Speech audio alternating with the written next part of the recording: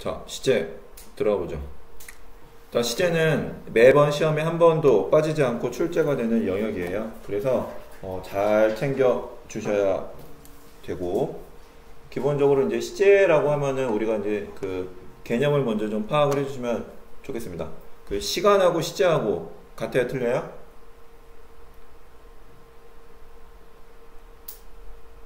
시간하고 시제하고 뭐래? 예. 자, 타임과 텐스는 동일하지 않습니다. 그래서 이제 그 시간을 동사에 표시한 게 어, 시제이긴 한데 매치는 안 된다. 그러다 보니까 매치가 안 되는 부분을 가지고서 이제 여러 여러 문제가 만들어지는 거고요. 또 시제의 개념 이건 이 표는 굉장히 많이 보셨죠. 과거, 현재, 미래 나와 있고 과거 완료, 현재 완료, 미래 완료 있습니다. 근데 여기서 기본적인 어떤 핵심 개념을 좀 챙겨주셔야 되는 게 과거나 현재나 미래나 얘네들은 다 하나같이 뭐다? 포인팅하는 시점이죠. 시점. 반면에 현재 완료를 대표로 말씀드리면 과거의 특정한 시점부터 지금까지 일어난 일이기 때문에 얘네들은 점으로 표시가 불가능하다. 그래서 완료라고 하는 거는 걸치는 시제라는 개념이에요. 두 개의 시제가 걸쳐요. 예, 두 개의 시제가 걸쳐서 일단은 완료 시제에 대한 어떤 워드폼 자체가 have 플러스 pp입니다.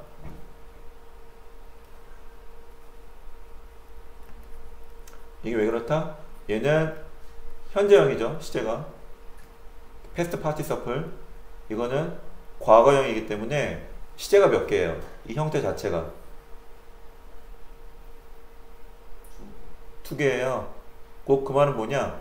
현재 완료는 이 각각의 시점이 연결된 그러한 상태를 말하기 때문에 그이 워드폼 자체도 어, 시제가 두 개 있다는 걸 나타내고 싶어서 have 플러스 과거분사 라는 형태를 취하게 된 거예요. 오케이? 이게 나중에 응용이 됩니다. 준동사나 기타 등등으로. 그러니까 핵심 개념이니까 이걸 먼저 잘 챙겨주시면 되겠어요. 자, 그러면 그 다음부터 이제 뭐, 뭐 시제 종류부터 해서 쭉 나와 있, 습니다 뭐 시제와 시간 보사는 일치해야 된다부터 쭉 보시고 여기 5번 예, 별표를 한 5만 개쯤 치시면 될 것 같아요. 시간과 조건의 부사절에서는 현재 시제가 미래 시제를 대신한다. 시간과 조건의 부사절에서는 현재 시제가 미래 시제 대신 쓰인다 라는 거 시험에 잘 나옵니다. 말 그대로 리터럴리 시험에 잘 나오기 때문에 이거 이제 꼭 챙겨주세요. 그러면 이건 이제 우리가 이제 거의 기계적으로 여, 너무 여러 번 들었기 때문에 이제 무디어졌어. 근데 어떤 게 무디어졌냐? 여기 분명히 부사절이라고 했죠? 그, 그 말은 뭐냐? 당연히 명사절에서는 안 된다는 거예요. 명사절에서는 미래 시제를 써줘야지 현재 시제를 써주면 안 된다는 겁니다. 오케이? 그걸 챙겨주시고 So when, soon as the moment 뭐 immediately, by the time, before, after, until, if, unless. 이런 접속사 이끄는 부사절에서 어 이제 현재 시제와 미래 시제 대신한다 라고 나오는 거고 이거는 암기하실 필요는 없고 이런 게 있구나 라는 정도만 챙기면 되, 고요요 문법상 자체는 굉장히 중요하다 라는 거 다시 말씀드립니다. 다음에 아, 그냥 또 보시면 되고 봐봐. 자, 얘 네모칸 있는 거 그냥 하이라이트 한번 쳐주세요 뭔 소리냐? 과거, 현재, 미래가 아까 시점이라고 말씀드렸죠. 점. 점이기 때문에 포인팅이 가능해요. 그래서 특정하게 포인팅 할 수 있는 이런 시간의 부사어가 나와 있는 건 당연히 과거 시제를 써줘야 된다. 이런 얘기입니다. 이해되시죠? 이거 점이니까. 점이잖아요. 1960년 딱 점이잖아. 특정 시점을 포인팅 할 수 있기 때문에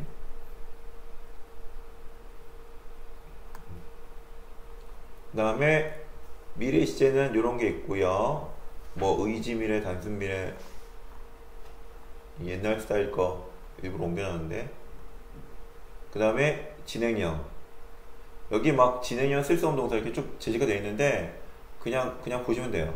어. 외울로 하지 마시고 드디어 현재 완료 아까 말씀드린 대로 뭐다 걸치는 시제다 라는 그런 컨셉을 잡고 계시면 될 것 같아요. 봐주시고.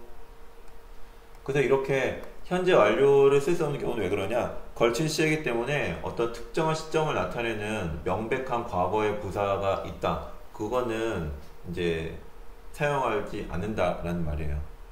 바로 챙겨주시죠 이, 이 부분은 오케이.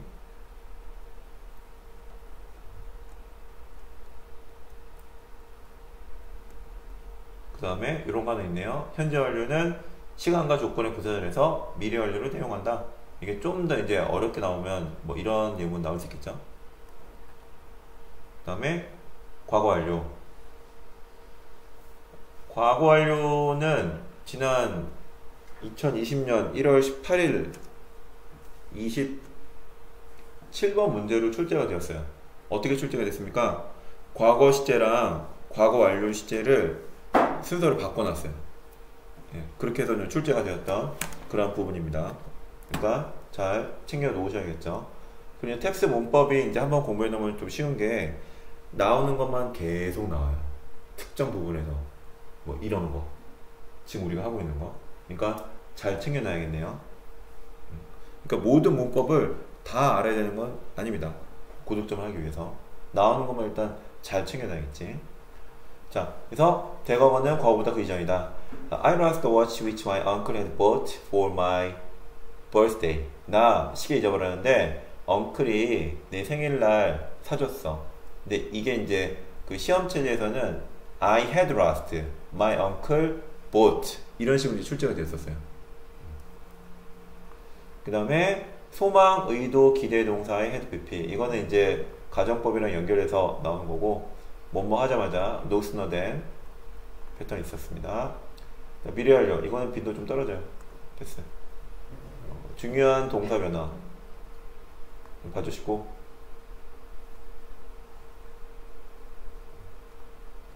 문제 있습니다. 그리고 드디어 스텝 2. 자, 시간부사 확인한다. 시간부사 없으면은 같은 문장의 다른 동사를 찾아서 시제 일치를 시켜라. 그리고 나서 세 번째로 해석으로 풀어라. 뭐에 있어서는 시제 문제에 있어서는 네, 그렇게 하면 됩니다. 음. 특히 여기 좀 별표 쳐는 것이 어, 현재 시제는 우리말의 현재 시제가 아니다라고 되어 있잖아요. 그 이건 또 무슨 말입니까? 그 현재 시제이긴 하지만 반복되는 거를 현재 시제가 나타내기 때문에 이거는 좀 다르다라는 그런 개념으로 말씀을 좀 드렸고 그 다음에 이런 거 있고 읽어주시면 되겠고 굵은것이 있죠. 주절의 시제가 과거면 목적어절도 과거 관련된 시제로 만들어준다. 당연한 거 시제일지. 미래 시제. 그리고 아까 시간과 조건의 부사절에서는 현재. 현재가 미래 대신. 근데 이제 텍스는 레벨이 하나 높으니까 현재 완료도 미래를 대신할 수 있다 라는 거. 그거 지금 어, 멘션을 드린 거고요. 그러니까 요거 잘 챙기면 되겠죠? 시간 접속사 when, before, as soon as, until 이런 것들 음. 그 다음에 현재 완료 있고요. 과거 완료, 미래 완료 있습니다. 네. 그러면 포인트 정리 첫 번째 주절의 시제랑 뒤에 나오는 문장의 시제는 일치시킨다. 또어트니까 월 되죠? when 다음에 과거시 나온다? 그럼 반드시 주절에는 과거 관련 시제가 와야 된다. 자, when I came back home, Tom was studying in his room. 이런 거 가능해야 된다. 라는 거. 그래서 이건 과거 시제. 이거는 이제 과거 진행 시제죠. 그죠? Tom was reading, 아, Tom was studying 나왔으니까. 왼 봐주시고 그 다음에 현재 진행형으로 쓸 수 없는 것들 소유인지 객관적 사실 이건 이제 이해를 하면 되는 그런 부분이죠 ing가 불가능한 거 그러니까 그 매스컴이 이제 망쳐놓은 것 중에 하나가 그 뭐 러빙유인가 뭐 이런 게 있었어요 노래도 나오고 그 드라마도 나오고 해서 I am loving you가 맞다고 생각하는 친구들이 급격하게 늘어났어 안 되죠 그 러빙 유 하면은 어떤 느낌이 됩니까? 사랑하고 있다. 예. 근데 이게 왜, 왜 잘못됐어요? I'm loving you 하면. 뉘앙스가. 왜? 자, 이거는 그 곰곰 생각해 보시면 되는 것이 이거 have나 own, believe 다 마찬가지예요. 자, 누군가를 사랑해요. 어? 자, 지금 내가 사랑하는데 5분 있다가 증오합니까? 아니죠? 근데 I am loving 하면은 지금 사랑하고 있는 그 지낸 느낌이 강조가 돼요. 지금 그러고 있는 거예요, 지금. 딴 때는 안, 아닌 거고. 그 말이 안 되는 거예요. 소유도 마찬가지예요. I am having this book. 말이 안 돼요. 왜? 이 책은 그냥 내 거야. 계속 내 거야. 이런 개념이기 때문에. 그래서 어떤 소유 개념으로 나왔다, 인지 개념이다, 뭐 이런 것들은 그냥 상식적으로 생각해 보셨을 때 현재 진행형이 불가능하다. 그, 그 말은 거꾸로 말씀드리면 현재 진행형은 지금 이 순간을 강조하는 거예요. 노래 볼 뻔했어. 네. 챙겨주세요. 네. 현재 진행형. 그래서 이런 거 봐주면 되겠고 그 다음에 어, 포인트 4 by the time이 이끄는 문장 나오면은 특수 시제 공식으로 푼다. 그러니까 time 현재 시제면 그냥 생각하지 마시고 바로 주어 will have pp time 과거 시제면 그냥 주어 had pp 왜 이겼어요? 그 by the time he gets back 그가 어, 돌아올 때쯤 나는 I will have moved to a new office 나는 어디로 어, 새로운 어떤 그, 그 직장으로 옮겨가 있었을 거야 또 by the time they got to the store 그들이 가게에 도착했을 때 the bread had been sold out 빵은 매진이 되었다. 패턴이에요. By the time. By the time 현재면 will have pp. By the time 과거면 어, had pp.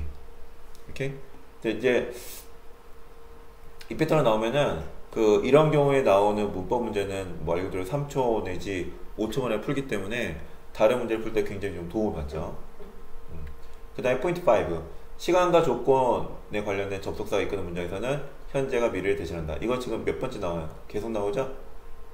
출제 빈도가 매우 매우 높기 때문에 음. 아마 여러분들 시험 보실 때도 또 나올 수도 있어요. 자, 챙겨주시고 그 다음에 현재 완료의 공식을 암기한다. 어, have 플러스 과거 분사, 다음에 for 플러스 시간, since 다음에 과거 시제, so far, until now 이런 것들 보시면 되겠고 또 단순 시제랑 완료 시제 차이 이거는 어떤 그 시간의 부사구의 단서, 그러니까 시간적 단서에 대한 유무로 어, 결정해 주시면 됩니다. I live in Seoul. I have lived in Seoul for 5 years. 자, 5년 동안 나는 계속 살아오고 있다. 라고 했으니까 지금 이 I live in Seoul하고는 다르죠. 뉘앙스가. 왜? 이게 지금 have lived가 되기 위해서는 현재 완료 시제를 쓰기 위해서는 걸쳐져 있다는 느낌이 드러나야 되거든요. 그래서 5년 동안이라는 과거 5년 전부터 지금까지라는 개념에 이런 시간에 관련된 단서가 들어가야지 쓸 수 있다. 이게 단순 시제와 완료 시제 차이예요. 점과 걸치는 거의 차이예요. 챙기시죠? 그 다음에 시제 문제로 많이 나오는 표현. 어, hardly had pp when 과거 시제, no sooner had pp then 과거 시제, 뭐뭐하자고 뭐했다. 어, hardly had Jack set the table when the bell rang. 해석해 볼까요? 제게 저거 도치된 거예요? 네. 제 잭이 테이블을 세팅했다. 벨이 울리는데 근데 그게 하드입니다. 거의 안 세팅했다. 그렇죠. 음. 그래서 요거 해석 그 잘 해주셔야 됩니다. 뭐뭐 하자마자 뭐뭐 했다. 자 그러면 포인트 9번은 뭐냐? 미래를 나타내는 표현에 익숙해진다. 그러니까 미래라고 무조건 will이 아니라 이런 아이들이 다 위, 그 미래를 나타내는 표현이라는 거예요. 현재 진행형 B2. 그 B2 같은 경우에는 이제 그 예정, 의무, 운명, 가능, 의도 뭐 이렇게 나와 있잖아요. 그 중에서 어, 미래에 관련된 be going to의 느낌이 가장 많이 사용이 됩니다. 음. 이건 한번 이제 언급을 드렸던 것 같긴 한데, 어, 요거 12세기까지 조동사 역할을 얘가 다 했다는 거 말씀드렸죠? 예. 근데 지금까지 남아있는데 그 중에 가장 자주 사용되는 게 be going to. 예정의 느낌의 be to는 여전히 남아있어요. 그래서 be supposed to 뭐뭐 하기로 되어 있다. be expected to 뭐뭐 뭐, 뭐, to부정사 이해하기 뭐 기대가 되고 어쩌고저쩌고 나올 수 있었고 그 다음에 포인트 10 이제 시제는 태와 같이 나오는 경우가 많으면 반드시 태를 확인하고 시제를 확인한다. 이거 형광펜 있으십니까? 형광펜?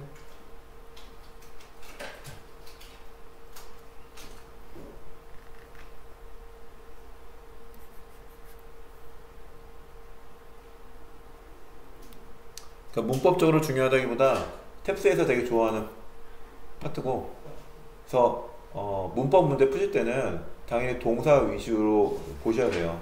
그 중에서 뭐 시제, 태 요거 필수로 보셔야 되겠죠. 능동이냐, 수동이냐 뭐 이런 것들.